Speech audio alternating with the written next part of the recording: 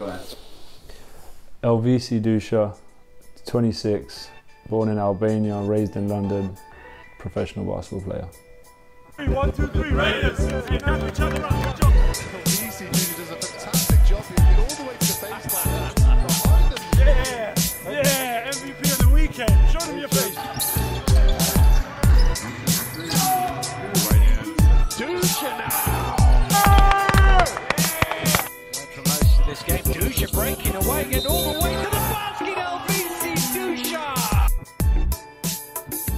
What's up, guys? Elvisi Dusha here, a brand ambassador for Always Balling. Go online, check out the site, see if there's anything you like. When you're online as well, have a look at the LVC Dusha collection and let me know if you buy anything. And make sure you tag me online as well. Thank you. So, week two of rehab um, didn't quite go as planned, not personally, but for the club, that's when we got hit with. Um, well, that's when I personally found out about the situation that happened with the club and, and, and the sad news that you know we're all aware of now.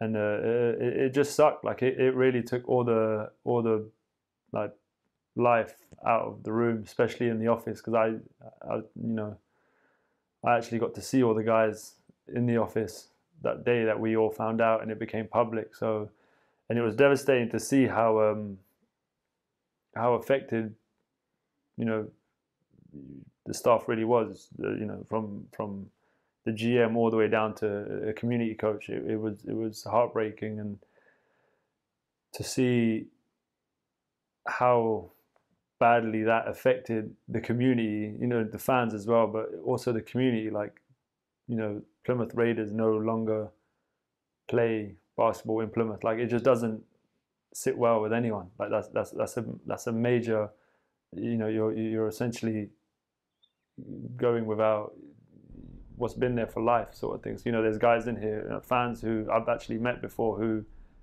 have been fans of the club since they've been a, a, a kid. You know, kids who I've coached in sessions, you know, before COVID when I was here. It, it was like it was a huge loss to everyone in this city.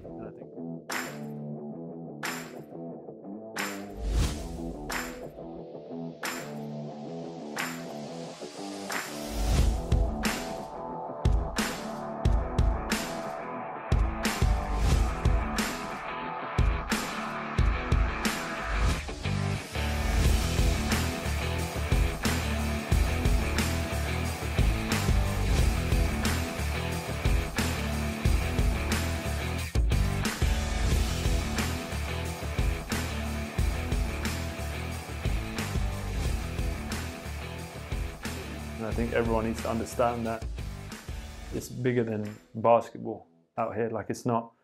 I understand the club. the club's gone under, and a lot of people have their opinions and they're saying, "Or this guy didn't put enough money," or, or, or this owner's uh, selfish, and these owners haven't done this. But at the end of the day, it's, it's, it's someone's life. You're essentially commenting on someone's life. You're you're having an input, which I don't think anyone values unless you're in, in, in the environment about someone's life essentially. Basketball is not be or an end all neither is is being famous or anything but basketball provides an income for a lot of people. Players for playing coaches for coaching staff for support for being the backbone of the club. You take that away from them. You're not just taking away finance. You're you're taking someone's someone's you know passion that they built someone's hobby. And when they was a kid like you you're there's a lot that you lose other than just a paycheck? No, I'll be totally honest with you. It didn't affect my rehab at all, uh, and I put that all down to the club and everyone in the office that day. I, I, I came in and, and, and we all heard the fact that they said, look, regardless if our income's been cut, like we're still we still want to use what we have, you know, the availability, the court, the the accommodation that's still available at the time for me to have in order for me to actually get ready to play play basketball for another team. So for another another club is supporting me to go and be successful for another franchise.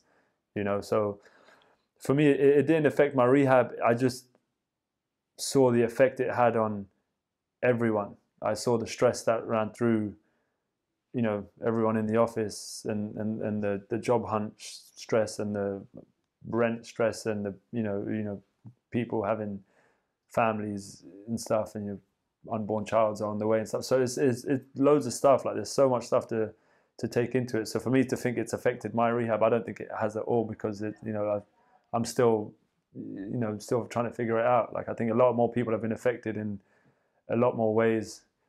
But yeah, it's just such a shame, if I'm being totally honest.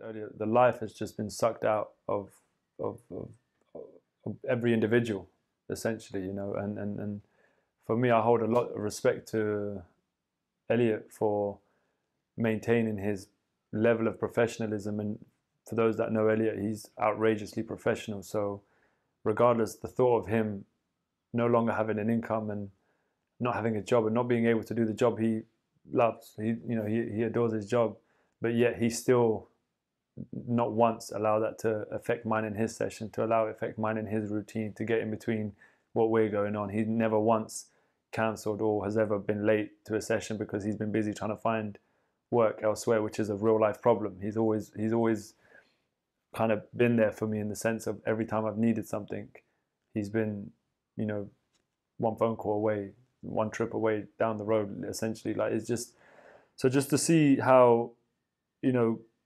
guys like him and everyone else in the office are so pure and so honest and so genuine and to still kind of you know they're not broken. None of them are, are broken down. They're all figuring it out. They're grown men. Like but it's just it's such a shame to think they have to go through that. Well my only problem at the time is i just have to get my knee better and find a job elsewhere.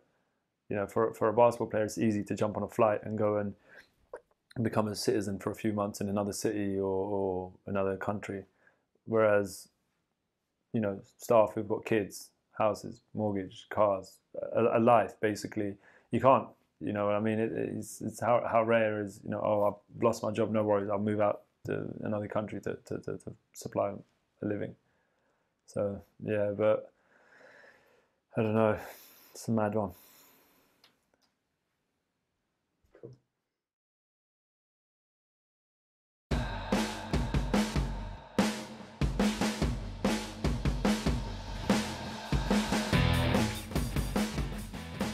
There's just days where my body just feels like it's off, feels like it's turned off, feels like my quads just so overworked from the last session that it can't, I can't carry this sort of you know, continuously day after day after day. But you know, I've, I've, I've still gone through with it. We've done as much as we can. We've tried to minimize as much. I genuinely thought yesterday would be the day I get you're good, like you're actually good. Now you just need strength training.